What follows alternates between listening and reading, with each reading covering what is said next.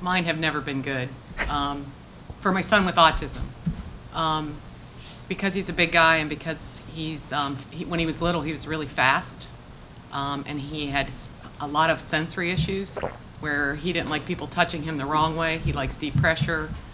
Um, if we had to do anything medical, he still doesn't. He hasn't. Well, this is not good to say in front of Dr. Karen, but he hasn't had blood drawn in probably 10 years because we haven't. We need to sedate him to do a bunch of things because he doesn't like to be touched the wrong way when you guys are trying to take blood or you're trying to listen to his heart. We've just gotten to the point now where he is 19 and they were able, the, the nurses in the practice are able to take his uh, temperature, you know, with the, this way. Um, He still has trouble letting them look in his ears. He will open his mouth and go like this, but only for 10 seconds. He will let them listen to his heart, and he thinks that's funny because I think he's ticklish. But when he was little, it was a four-person hold to do anything.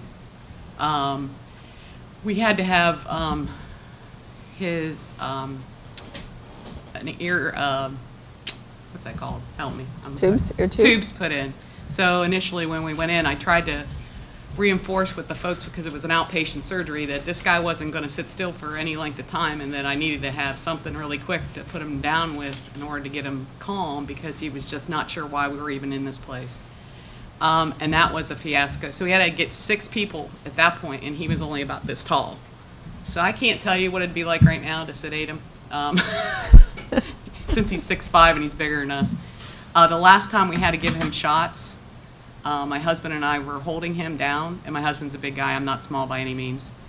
Um, we were on top of him basically, and um, it was a shot of penicillin because he was pretty sick. The doc got the needle in, and as he was getting the needle in, Pat bucked like a horse and came up, and the doc was worried that he broke off the, the, the needle. So, I guess what I'm trying to tell you is you have to listen to the parents. We know our guy's the best, and since my guy's older and I don't know what the word is. He, he's not really fond of the medical community. He's done better as he's gotten older. But again, we have to do a bunch of testing. We've got to do some blood work. We've got to do some teeth. We've got to do a bunch of things here soon. But I've been procrastinating because, to be quite honest with you, I don't want to have to take him in. And I've always worried about an emergency situation. Um, and we thank God, I don't know if there's wood anywhere in this place. We've never had Wood. an emergency situation to go in through the ER. Um, But on the flip side, his middle brother, he's the best patient you ever want to meet. He's, he's good. He's had probably 10 surgeries. Um, He understands, he doesn't like the hospitals, um, but the docs always talk to him. That's another big thing, even with Pat. If you talk to the patient, not the parents, even when they're little, he's, Pat was still listening, even though he was flying around the room.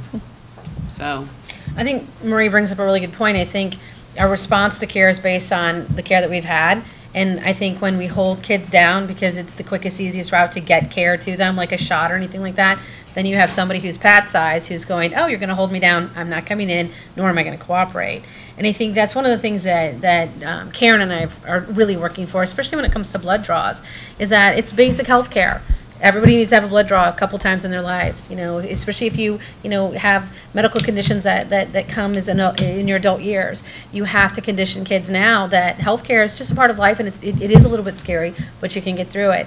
I think we've all been through that experience where our children have been held down, mine included, and it takes so much longer to look in their ear and take their temperature because we just took them back you know, three or four steps. Now they won't even come in the office door. I mean, Karen can tell you stories of patients that she actually has, and I hope you don't mind if I tell this one, but she has actually done a, an exam with a child who won't even come in the building. She goes out to the car to see him. Um, he's much better. He's coming in the building He's now. coming in the building, brings me presents. But. I mean, I think that it shows a couple of things. One is, we his used to do, have to do the been- dentist like that. The dentist would have to come out and take a look at Pete's, uh, Pat's teeth in the van, because as soon as we pulled in, he would go, Yeah. But I think Nice it chair shows a though, it couple of reclines things. and everything, so. Yeah. Yeah, but it's that whole thing, he's back, and there's all those, think about all the sensory Yeah. things you guys have that our guys just can't handle. If you got a sensory guy, that's, I mean, I don't know if you've talked about sensory, but whoa. Not much, but But I think that, that The smells example of the though is- hospital are bad. is, I think the, the point too is that, I mean, I think that the way that we approach care is very, very important, but also being adaptable to how kids respond to care, which I think Karen has a lot of good examples of how she's adapted the environment to meet the needs of the child. So that, again, effective care is the bottom line. We all want effective care for our child. You know, you want effective care for you. Um, I, should I tell my doctor story? So I was here at Ohio State uh, when I worked here, and I went in to see the doctor, and I did a lot of healthcare things going on. And she said to me, you know, are you under a lot of stress? And I said, well, you know, I do have this child with autism that I'm raising. And she said, oh, is he high functioning or low functioning? And I said, well, let me ask you this: Are you a high functioning or low functioning doctor? She got the point. and Yeah. then I had a really good exam. And actually, every So time she I've was gone back to see her functioning? since then, she reminds me of that statement that I made to her, which just flew out of my mouth. I mean, I didn't mean for it to. And- and- Um, but she has a friend who has a child with Down syndrome, and she always qualified him as low functioning. And now, and she was like, I feel really bad about that now. You know, I never saw him as a person; I saw him as a functioning level. And I think you need to see past that and go, these kids have personalities, traits, you know, and conditions, and they are Human. rec- they are they are allowed to have good, effective health care. And a lot of it's going to come on the way, uh, you know, due to the fact of how you treat them and treat the family. We've actually, we've had a few good experiences a- and bad. Um, right. we have- Hey. Um, She's we- got little kids, that's Yes, why. they're still little. Um, we had a good, actually, emergency room experience. It's the only time we've ever had to go to the emergency room. And that's because my seven-year-old, who was then five, shoved a craft bead up his nose at school. Um, and, you know, he doesn't understand when they're telling him to push it back down, so he kept sniffing up and it got up there really far.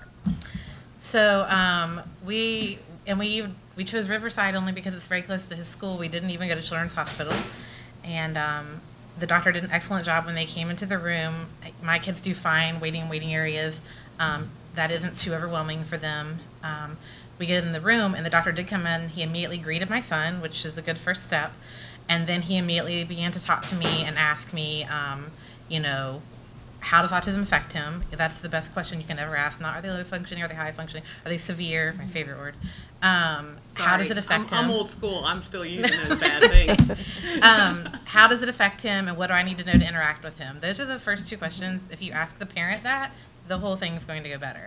And this doctor had a nephew on the spectrum. I later learned, and so he asked me something very close to those two statements, and I explained to him. And so rather than he said normally we would immediately go to some big long skinny thing they stick up your nose to pull it out, which was going to be traumatic for my son. And he instead told me about a method where he would leave the room and I could do it on my own, and it would just be I had to like hold the other side shut and like blow into his mouth as hard as I could. The bead shot right out across the room. So, like, we avoided a major traumatic experience and probably a much bigger bill um, by him listening to what I told him and saying, if I, you know, if I can do anything, that's going to go better than an unfamiliar person, you know, going up his nose.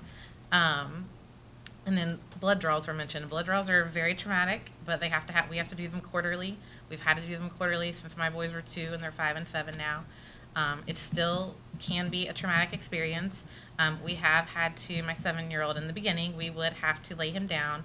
We never had to do the think it's called the papoose. Or we'd never had to do that, but we would take usually two adults to give him lots of deep pressure so that it could be done, and he would cry. Um, the family that I work with, the little boy throws up on the lab technician every time. Um, he lets them do it, but the stress and the anxiety of it, he, he'll vomit all over them. Um, the best thing I can tell you about that is to not immediately say, What did I do wrong? What's wrong? It's just to say, Can I do anything to help? Because sometimes in those situations when the children are feeling that level of anxiety, the more language you're putting out, the more auditory processing they have to do, and now they're they're scared out of their mind. So the less you can say when it's already escalated to that, the better. Um, and just talk to the parent with minimal words and say, "Can I do anything?" Because sometimes you can. Um, my little my little guy, my five year old, is excellent for blood draws because they let him sit in my lap. Um, somebody gives him deep pressure on his legs the entire time. I give him deep pressure across the middle of his body. I'm not holding him down. He doesn't try to get up, but that gives him an extra sense of knowing where he is, knowing that I'm behind him, and you know we're not going to hurt him. This is a quick thing. Um, his bigger issue is when it's all said and done, and he sits there, and sometimes a tear will come down, but he doesn't make a sound. He doesn't want to wear the band aid. The band aid is a whole nother sensory texture. I don't want that on me. So one time we had, um, I don't know what they're, a lab technician, um, who insisted that he get that Band-Aid on and while I'm dealing with my other son, because we take them at the same time, so there's only one traumatic day a quarter. Um, she kept trying to put it on and put another one and put another one. So he fought her really hard to the point he bled everywhere because then his blood pressure is raised and he's. Um, so when I told her, if you'll just let me hold something there for a split second, and then he looks with me, okay, is it done? And we hold it there, and as soon as it's done, we take it off. All is well. Um, and the majority of the time, we try to use the same, and you'll find that your your autism moms are going to try to go to the um, blood draw when that same lady's working every time. I mean, I call and It's, it's not even kids with autism. My son with Down syndrome is a tough stick, and for years, um, we had this gentleman at Children's who was up at Schrock Road. I think his name is, uh, was Howard. I could be wrong. And, um, Howard was our go-to guy because he could find Pete's vein, and I would have to hold Pete the same way she's holding her little guy because I would have to bear hug him because he was scared, not in a, but he, it was a good bear hug. And then Howard would talk to him about all the animals in the world. I don't know how he was able to focus on what he was doing, but I was all good with it, and he was able to get the blood. When it came to Pat, and we tried the same thing, poor Howard, he went gray after he had Pat. because he, we tried some of those same techniques, but his sensory issues were so much that we couldn't calm him down enough to get him to understand that it was going. And I think part of that has to do with when you're pushing or you're finding when they tie that thing thing around, around the, the arm. arm. Yeah. It sends them over That's the edge. But anyway, I want to say, so across the board, it's not just guys with autism. It's kids in general, but kids that may have some sensory issues or and or fear issues. It's how you approach them. Um, or even young adults, the young adults with Yeah. Sandra, do you want to talk about some of your healthcare experiences? Because I know you've had some. Well, they shared one thing that I did want to add is that it is very true about how you approach. If you walk into the room with anxiety about approaching us, we're going to pick up your anxiety right away and we're going to start reacting to your anxiety. Mm, Um, because they say that with people with autism that we don't have emotions, but it's not true. We overly feel everything. Like I can feel everybody right now's emotions and energy in this room. And some of it's very calm, but some of it's very overwhelming. Even though you're not speaking, I can still feel it. And, and so, as a doctor, if you walk into the room and your energy's high um, because you're having one of those high energy kinds of days, you're going to cause us to be overwhelmed and overloaded just by your energy. If you're too calm and neutral, we're not going to be able to read what's going on with you, and that's going to cause our anxieties and fears to increase. But if you come in anxious because you don't know how to address us, we're going to respond with the same way with you. You're not trustworthy because we can't read what's going on with you mm, and where your energy is coming from. And so and that's one thing that I always even tell teachers, you can dictate the mood by the moment you walk into the room. Mm, Um, and so, but with doctors in healthcare, I have multiple health issues and mm, I don't mind sharing them, but I have Sjogren's and fibromyalgia, vitamin D deficiency, low IgA, asthma, mm, severe allergy issues to where my throat will close off with certain allergies. Um, I have osteoporosis and the list can go on and on. Um, mm, but the problem I have is that I don't have good eye contact. And I'm not a good person to, like, when I, sometimes when I've gone into the emergency room and I'm feeling really bad and my whole body is in pain. And when the doctors are asking me, where does it hurt? I don't really know. I just give a general idea of where it may be coming from. And, and so they'll think that I'm being dishonest and they'll say, oh, well, does it hurt over here? And I'll say, yes. And they'll say, how about down here? And I'll say, yes. And it's because my whole body is in pain, not because that I don't know how to answer the questions.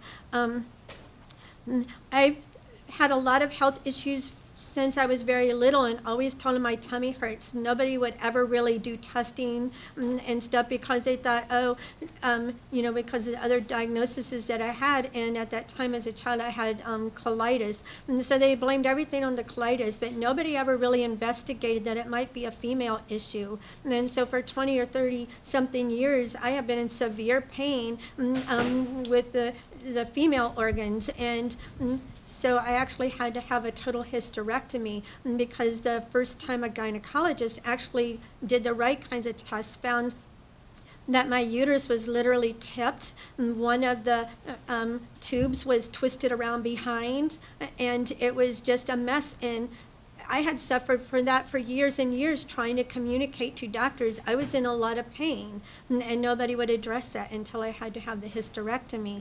But um, that's what also helped me mm, pro advocate for myself before I went in for that surgery. Mm, I wrote out a two or three page, I think it was only two pages of a letter mm, that shared to the surgeon my sensory issues, my communication issues, everything in basic detail, not a lot of information, but just the basics.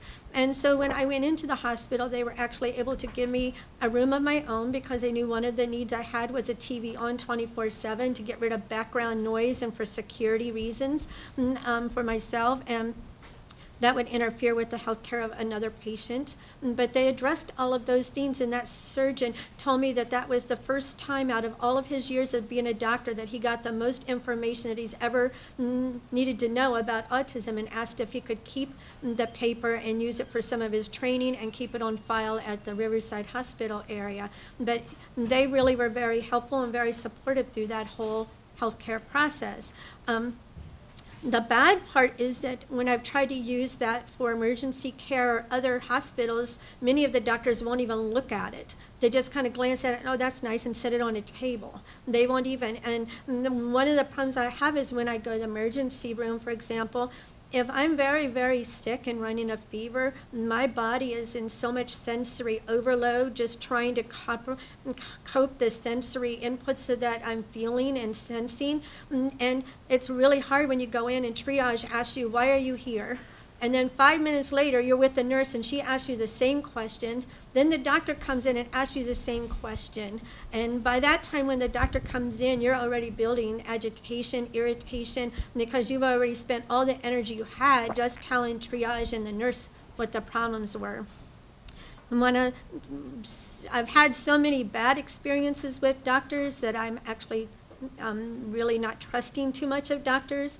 I'm terrified of needles, IVs, um, any kinds of procedures. So most of the time now for my health care, they actually put me to sleep and to do any kinds of testing um, because my body cannot handle um, things. And one of, one of the most horrible experiences when I had to have an upper and lower scope. Um, I shared to that doctor, that surgeon, that I had to be completely out because of my health issues and my developmental issues would be too much.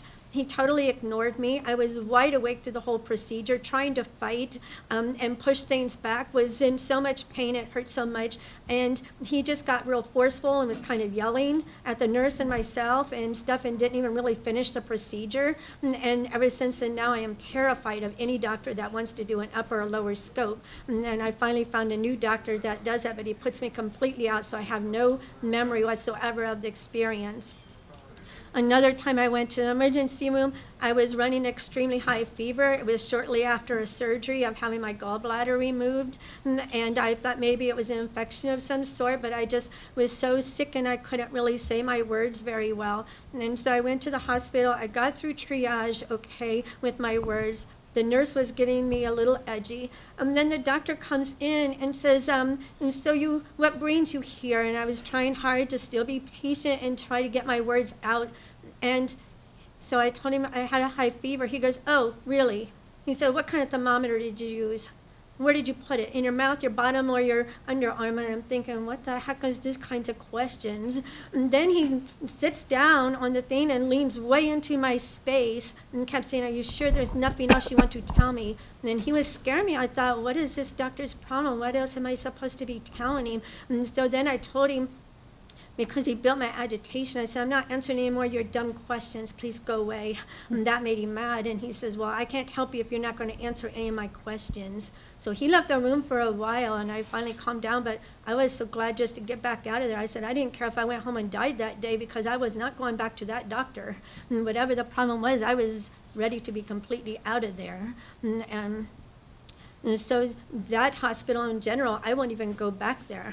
I refuse to go to that hospital for fear of seeing that doctor again. Um, but that prevents us from getting the right kind of health care too. And sometimes doctors will tell you, well, you get home, I need you to do this, this, and this, and it's all verbal.